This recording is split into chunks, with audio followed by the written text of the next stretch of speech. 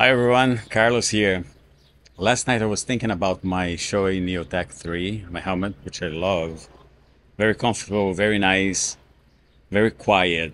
But I was curious about the decibels, right? So I was thinking like what if I what if I do a test today with the lid open, go 65 and then take some measurements and do the same thing with the lid closed and do some measurements again and then see how it performs.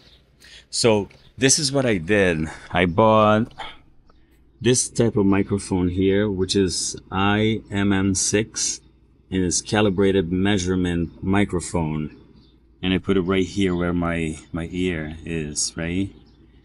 And I also downloaded um, a file from this company into this app, which is called Audio Tools and SPL graph. That's that's what I'm gonna be using to to measure the decibels. Um, I have a 2023 GS 1250 with the original exhaust, and I'm gonna put all this description um, when I when I finish recording everything. But now, uh, full disclosure, I'm not a sound engineer. I'm not a professional in the area. I'm just curious. So I hope you enjoyed this video. All right, let's start.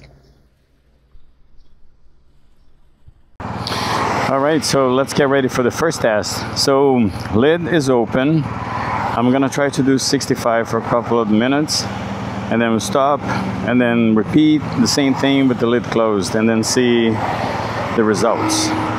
All right, let's see.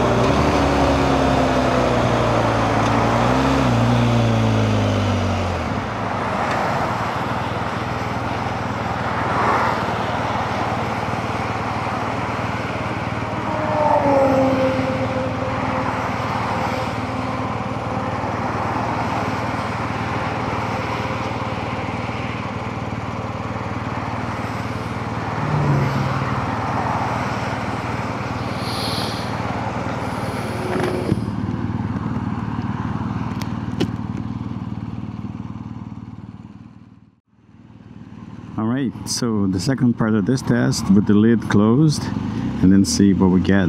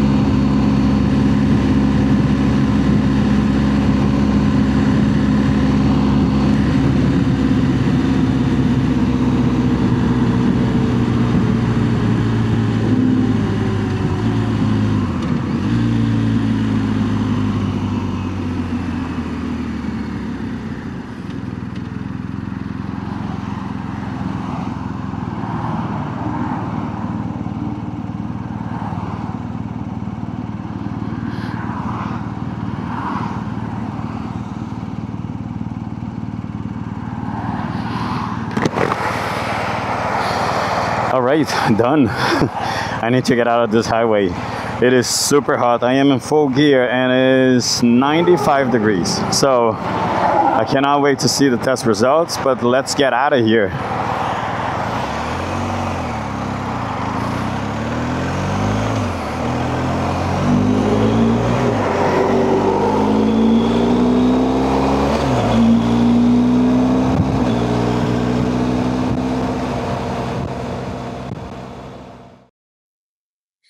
So here are the results of my helmet noise test using the Shoei Neotec 3 at 65 miles per hour.